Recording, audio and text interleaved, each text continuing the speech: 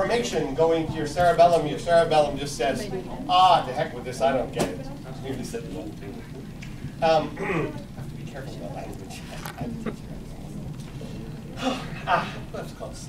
Um, so your brain is so confused because it's received all the sensory information about position in space, right? So you end up feeling nausea. You want to die, right? Now, let me give you another good example of that. One time I went to the Galapagos Islands. Uh, you know what they are? You've heard of Galapagos. I've heard of them, I know where they are. These are islands about a thousand kilometers off the coast of Ecuador, South America, right? They're out in the middle of nowhere, right on the equator, and Chuck went there.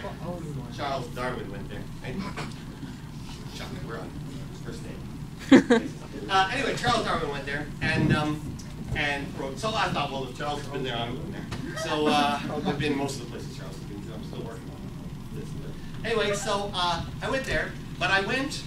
It, you know, these are it's a national park. There's very few places you can actually stay on the islands. You have to do it uh, as kind of a tour thing, right? But what happens is I found a small boat for a small tour that would take 15 people, and there was like six crew members or something like that, right? So it's this little boat, you go from island to island. Well, the islands are a long way apart. So we went to one of them one night, and one day I should say, spent the whole day on the island.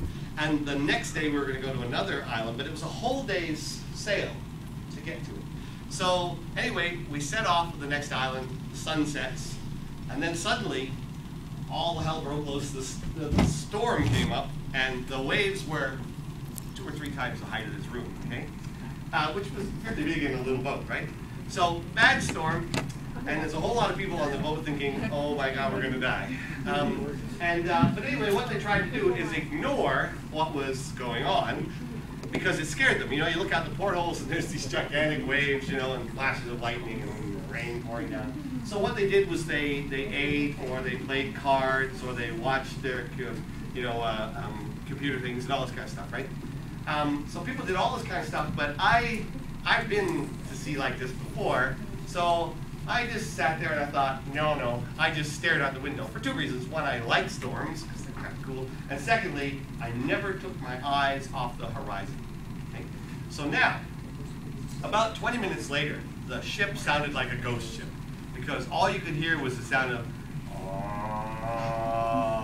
and that was not ghosts. It was just people wanting to throw up all over the place. They were all seasick. Everybody was seasick except the crew and so, what was the difference? Well, see, I didn't try to distract myself by looking at a book or a, a computer or something like that. I just watched the horizon. So, when my brain was getting all this information from my semicircular galaxy going like this, my visual system was also telling me, oh, by the way, the world's going like this, right, as the boat tosses around. So then my brain was able to correlate the two kinds of information, and I didn't get seasick. And that's the secret.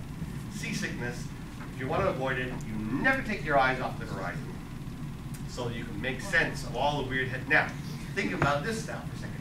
Have you ever tried driving in a car where you're not the driver? You're in the back seat, and let's say you're trying to make time go faster and you read and stuff. What do you get? Oh my god. Car sick, right? You know who never gets car sick? You. driver. The driver. And I'm always the driver, yeah, so yeah.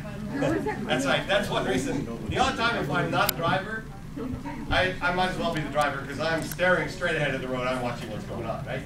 Um, and I never feel car sick, but I know if I try looking down, I do get sick.